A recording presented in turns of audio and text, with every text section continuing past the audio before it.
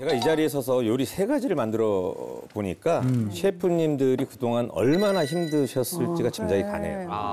불 앞에선 다 힘들어요, 네. 진짜. 근데 이게 어떤, 어떤 기분이 들어?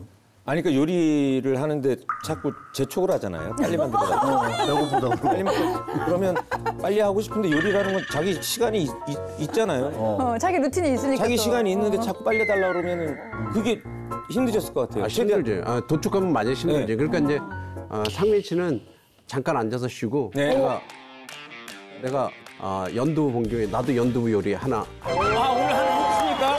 감사합니다. 아, 야 즉석에서 30주년을 기념할 만한 정통 요리. 자 이제 근본 없는 요리에서 근본 있는 요리로 넘어갑니다.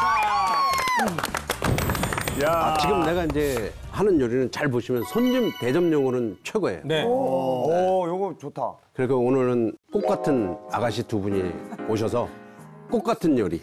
네. 예. 꽃으로 비유해 주시다니 감사합니다. 감사합니다. 아, 이거는 꼭 배워놔야 되겠네. 아 이제 요리는 간단해요. 예, 요리는 간단하고 이거 지금 채로 다 걸러놓은 계란 계란찜을 만드는 거예요. 네. 아, 채로 또 걸러서 더 부드럽게 해주셨구나.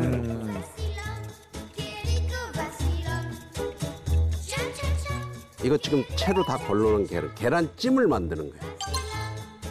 이 과정은 뭐 되게 간단하니까 계란찜이 이제- 손님 대접용으로 좋은 요리, 요리 맞죠, 셰프님? 아직 아직 이건 초보 단, 아 초보 단계야.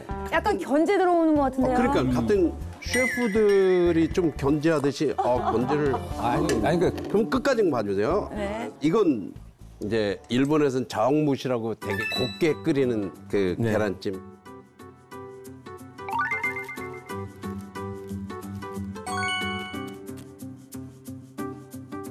이렇게 해서 아 끓는 바로 물에. 놓고 요거 한 10분 정도만 쪄주면 이렇게 약간 응고가 돼요. 얘는 응고되는 게 되게 중요해요.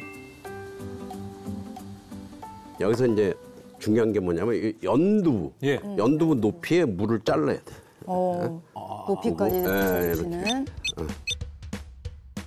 연두부 높이에 물을 잘라서 얘가 뭐를 이용하냐면 얘가 받침대 역할을 해요. 안정되게. 지금 물을 가지고 뭐 건축을 하고 계세요 건축. 워낙 근본이 있으신 분이니까. 일단 뭐 대들보를 대고 계신 거 같아요. 과정은 멋있어요. 멋있, 네. 멋있으면 되는 겁니다. 네. 자, 이건 이제 딱 보면 두부를 항상 이게 연두 팍 치면 깨지니까 이렇게 칼에다가 받쳐서 이렇게 쓱 빼면 되게 부드럽게 쓱 내려앉고 칼 여기다 쓱 집어넣고 얘가 이렇게 아, 이제 요거를 요런 링 갖고 요 과정은 뭐 셰프님 많이 그거 없으면 좀 비슷한 것 같아요. 다른 걸로 응용해서. 동그란 거 찾으면 되죠. 뭐 조그만 컵이라든가 뭐. 커. 종이, 종이컵? 종이컵 끝머리만 잘라가지고 뾰족하게 해서. 자, 이건 이제 물러요.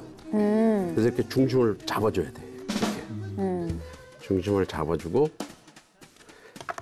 얘를 이제 여기다 대주는 게 칼이 밑바닥까지 완전히 내려가면 안 돼. 야,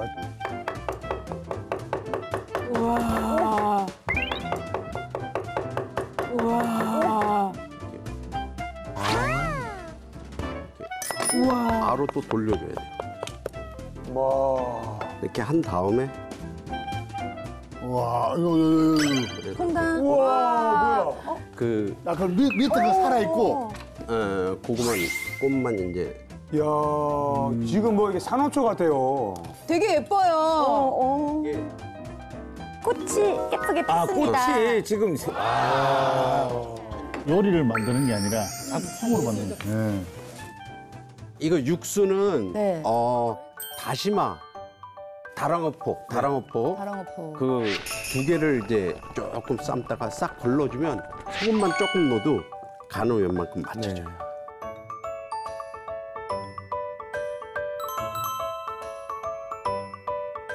네, 이렇게 해서 육수를 여기다 먼저 불 거예요. 이렇게 해서. 어, 이거 너무 기대되는데?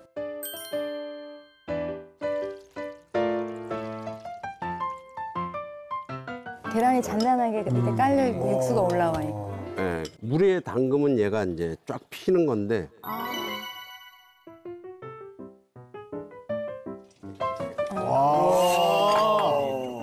노란색 그 모래에 딱 지금 산호초가 흰색 산호초가 딱 움직이는 것 같이 너무 예쁘다.